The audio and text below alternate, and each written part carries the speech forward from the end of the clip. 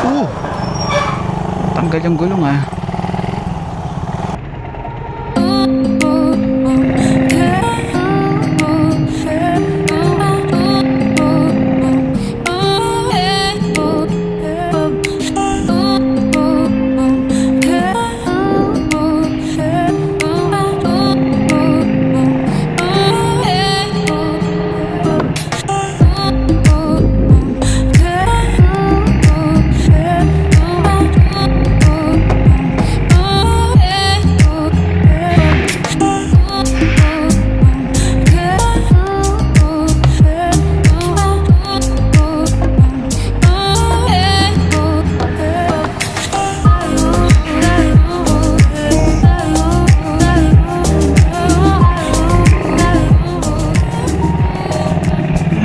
Sa wakas, makakauwi na din. Ang hirap ng panahon ngayon. Uulan na araw, uulan na araw. Papalit-palit tuloy ako ng outfit. Pero ayos lang.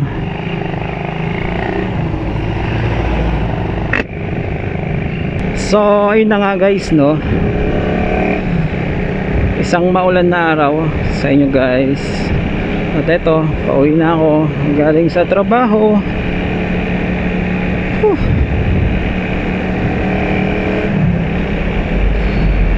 Minsan talaga mahirap yung ano, oh.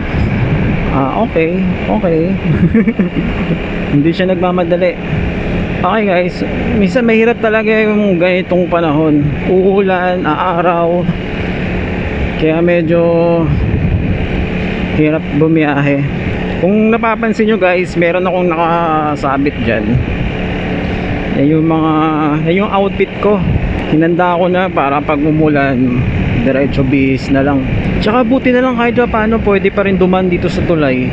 Kasi dati, alam mo, bawal ang duman dito eh. Pero mabuti, kahit pa paano, nakakadaan pa yung mga motorsiklo dito mas mapapabilis ang biyahe at mapapabilis din ang uwi habang pauwi ako guys magkwentuhan muna tayo. Ah, ah. ang bouncy bouncy okay guys. Magkwentuhan muna tayo. Teka lang ayusin ko muna yung yung camera ko. Parang ang luwag niya yata eh. Tabi muna tayo dito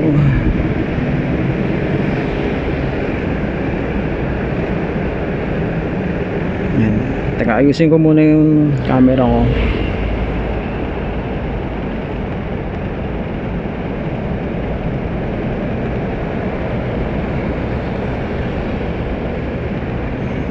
Oh, ayos. Okay guys. Ang pagkukwentuhan natin ngayon ay ito yung mga kailangan mong iwasan na driver. mapakotse man yan motor o truck basta umaandar syempre una sa mga list natin yung mga driver na laseng hindi natin maiiwasan yan sa daan. Lalo na kapag mga late na oras. Lalo na pag mga Friday o mga sahod na. Yan kadalasan ano eh nagpa-party party yung mga empleyado tapos syempre umuwi na sila ng late. Tapos makakasabay mo sila sa daan. Yan yung mga dapat iwasan natin yung mga nagda-drive ng lasing. Dahil hindi natin masasabi minsan yung mga nasa harap mong lasing mababasa mo naman yung mga galaw ng sakyan nila eh kung pagewang-gewang sila o nawawala na sa linya. Pag nakakita ka ng ganyan iwasan mo na yan para hindi ka madamay in case na problema siya. Nagka problema in case na nagloko siya o nawalan siya ng control sa sasakyan di ba? Tsaka syempre delikado din yung kasalubong mong lasing minsan mawawala siya sa linya niya eh tapos matutumbok ka. Ayun mga dapat iwasan natin. Tsaka naman sa mga umiinom habang nagda-drive mas maganda kung iiwan nyo na lang yung sasakyan nyo sa bahay o yung motor ninyo sa sa company parking para safe kayong makauwi. At syempre hindi kayo makakadamay. At saka tapos na tayo doon sa mga lasinggerong driver. Ang susunod naman ay ang mga Hmm, ano pa ba? Um, siguro may mga edad ng driver. Hindi naman natin maiiwasan yan. Meron tayong mga mga kasabay na driver na may, may na may mga edad na yung medyo hindi na kagano, ganun kabilis yung mga mga reflexes nila tsaka yung thinking nila hindi na din ganun kabilis. Kasi nga may edad na. Syempre di natin maiiwasan. Habang tumatanda ka lumalabo na mata mo. At hindi rin, na, hindi rin nila napapansin na nawawala na sila sa linya nila. Yun hindi, hindi rin natin maiiwasan sa daan. Kaya pag nakakita ka ng mga medyo may mga edad na nagmamaneho mas maganda kung dumistansya ka na. Kasi mahirap na eh eh lalo na may edad na yan, 'di ba? In case na magka-problema, minsan babaliktad pa yung sitwasyon. Sis, ano ba 'to? Yung sitwasyon na imbes sila yung may problema, may problema yung may kasalanan, eh ikaw pa yung magiging may kasalanan. Sabihin pa sa'yo, eh, tanda-tanda na yan, nakikipagtalo ka pa. Oo, 'di ba? At at saka ang susunod na kailangan natin iwasan ay yung mga teenager. Yan. Yung mga teenager na kahit wala pang mga lisensya nakakapag-drive na marami akong nakikita ang ganyan lalo na sa mga loob ng village. Siguro yan yung mga nautusan na bumili sa tindahan eh. Kung hindi man nautusan yan yung mga sabihin na natin mga nagpapasikat sa mga tropa nila na kahit hindi nila motor ilalabas nila. Kahit wala pa silang lisensya. Diba kung mapapansin nyo nga sa loob ng mga village may mga grupo ng mga kabataan eh. Yung may mga kadalasan pa ang dami-dami pa nilang angkas. Tapos mga ano sila di ba mga kabataan. Minsan nga hindi lang lalaki may mga tropa din ng mga babae na tatlo-tatlo tatlo-tatlo. Tatlo sila nakasay sa motor yan din yung kailangan natin iwasan. Yung mga teenager. Kasi kahit sabihin natin sila may kasalanan uh, in case na may manyari eh, wala kang magagawa. Kung sila man, may, sila man yung magbabayad ng damage magiging hassle dahil dahil kailangan mo ipagawa yung kung ano man yung na-damage sa motor mo. Kaya ayan yan din yung mga kailangan natin iwasan yung mga teenager na yan. Meron pa nga ibang teenager lakas makabomba eh lakas makabomba sa daan.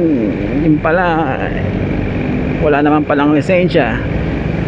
Tapos hiram lang yung motor. Yan yung mga may hirap eh. May hirap sa mga ano mga tropa-tropa kunyari meron kang katropa no? Humiram sa'yo ng motor. Tapos pagbalik sa'yo patay sira-sira na. Alam mo ba kung anong ibabayad sa'yo? Sorry. Sorry lang sasabihin sa'yo. Wala ganyan talaga. Ay mali ako ng pasok ah. Dapat pala dito. Marami na akong nasaksihan na ganun eh. Hindi naman nasaksihan. Kumbaga mga narinig na kwento na hihiram lang ng motor pagbalik sa'yo. Ayun bit bit bit bit yung headlight ng motor. Tapos puro gas gas pa. Teka lal lalampasan ko lang tong traffic na to. Tapos magkwentuhan ulit tayo. Kasi pangit naman kung puro puwit ng puwit ng sasakyan makikita ninyo eh. Ayan medyo nakalampas na tayo sa traffic. Traffic talaga dun sa Bikutan kahit kailan. Sa bagay may mall kasi dun eh tsaka ang dami din tao dun. Kasi yun yung pinaka mabilis na mga access ng mga tao. Tsaka alam nyo ba guys yung footbridge sa Bikutan ayon sa survey yun daw yung pinaka busy footbridge. Dahil sa dami ng taong dumadaan dyan. Mamaya na ulit. Mamaya na ulit ako magbablog kasi yung traffic na naman eh oh. Feeling ko isa dito sa mga pi pinaka busy daan lalo na sa mga truck daming truck dito eh makalampas lang tayo dito sa Save More ay Save More Walter Mart pala to tagal-tagal ko lang dumadaan dito uh, Ngayon ko lang nalaman na watermark pala yun. Kala ko save more. Magkakulay kasi sila eh. Ako, sayang naman kung makakapag-vlog tayo hanggang sa pag-uwi ko. Ganito pa rin yung daan pa traffic. Anyway, ipagpatuloy na lang natin. Wala tayong magagawa. Ganito talaga dito sa atin. Traffic. Pagkatapos natin sa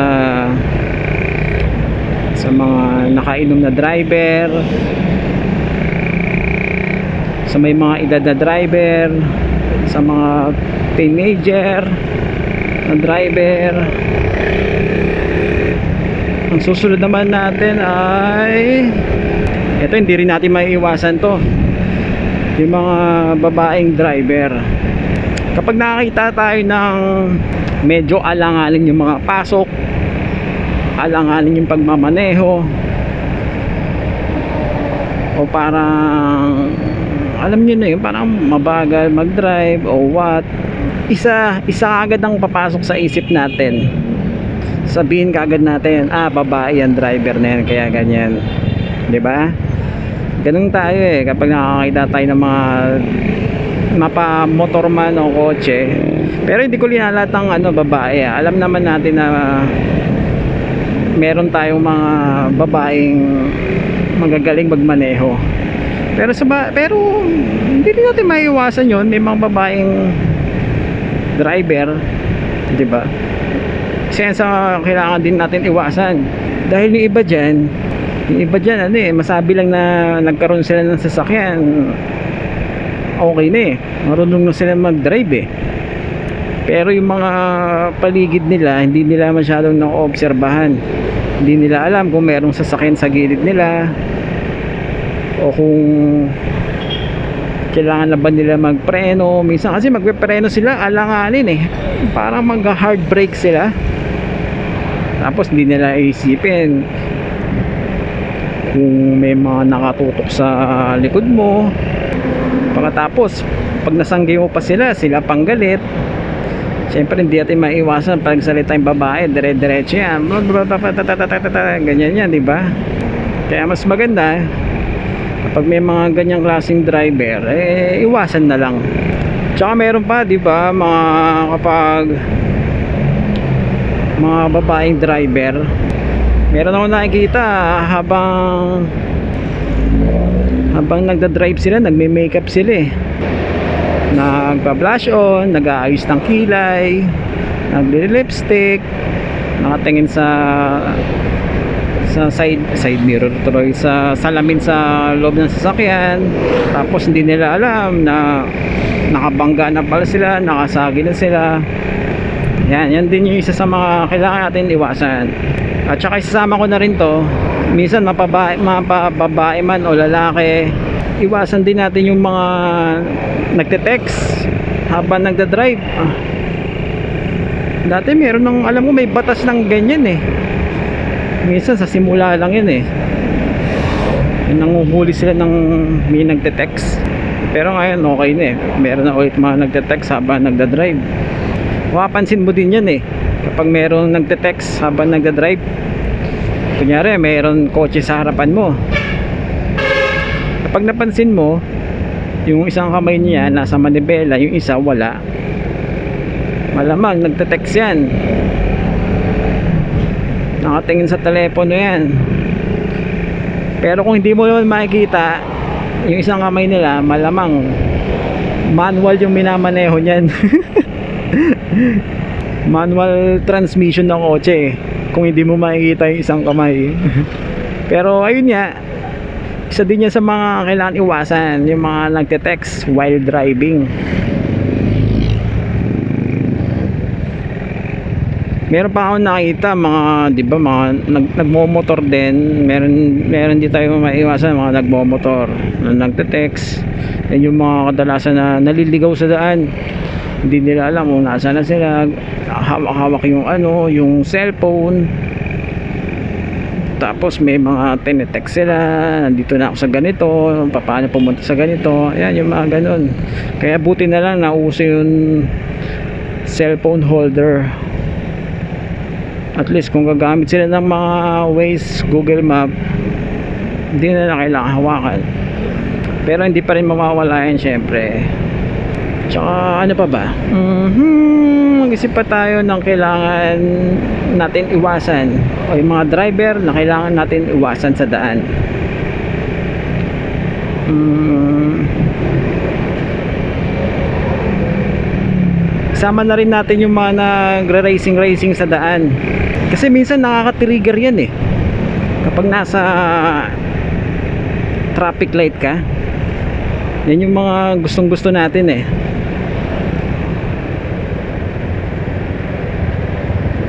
Oy kuya, nandito sa tabi mo, anak ng tokwa. Yan, isama na rin natin yan, yung mga ganyang klaseng rider na nakikisyoso. Hindi nila alam na meron ng motor sa gilid nila.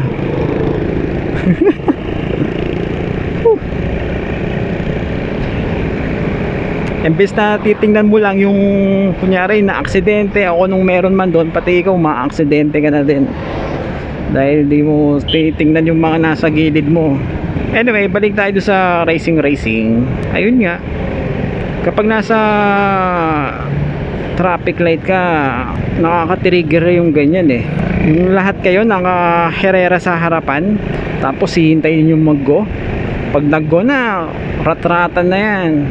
Yan din yung mga ano kadalasan dyan din nagkukos yung mga aksidente eh. Yung makikipagkarerahan ka. Kaya mas maganda kung nasa stoplight ka tapos nag-go. Kapag nag-go okay simpleng takbo lang. Tsaka ka na umarangkada hindi yung paggago ratratan lang agad tapos kapag na-aksidente ka sabihin mo eh ano kasi ganun ganun eh. Ang daming rason di ba? Kaya chill lang. Chill lang tayo sa pagpapatakbo. Ano pa ba yung mga kailangan natin iwasan na driver sa daan? Um, pero kalimitan depende rin naman talaga yan eh. Depende din sa mga mga kasama mo o mga ka, mga katabi mong driver. Kung nag-iingat ka nag-iingat sila. Sigurado wala naman may nangyari tsaka is isama ko na din to ha.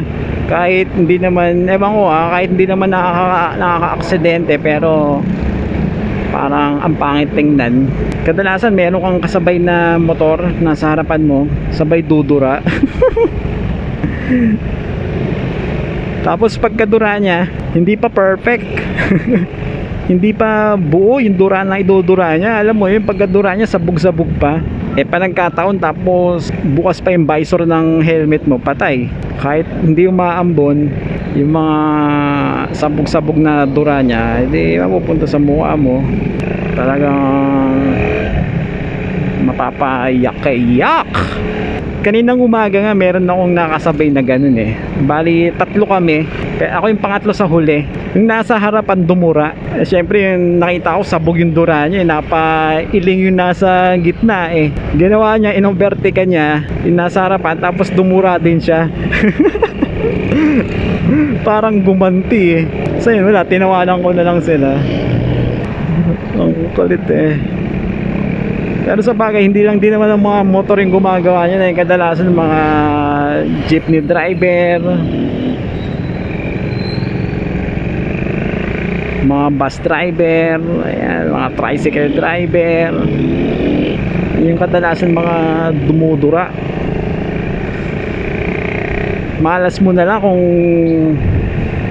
dumura siya tapos may kulay-kulay pa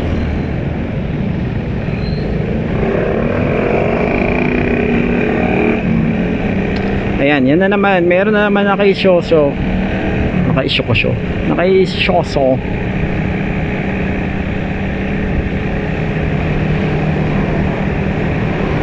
Tapos hindi na naman niya tinitingnan yung mga yung pagkabilang gilid.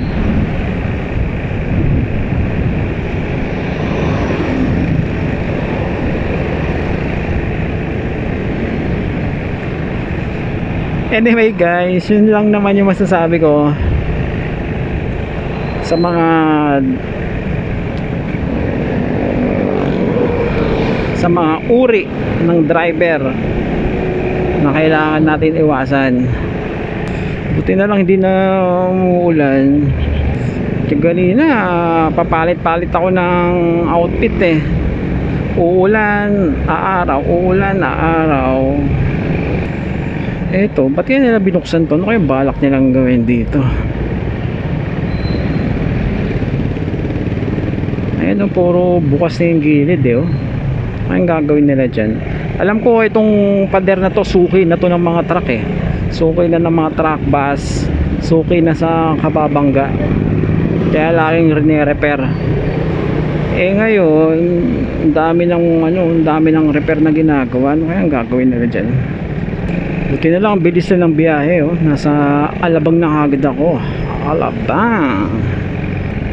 Okay guys. Bago ko tapusin tong vlog na to gusto ko lang magpasalamat sa mga nag-subscribe sa channel ko sa mga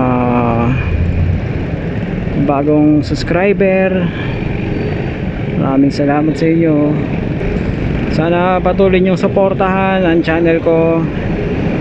Syempre hindi lang naman ang channel ko kundi channel din ng iba. Lahat ng motor motor lahat ng motovlogger dito sa Pilipinas suportahan natin sila. Dahil ganun din ako.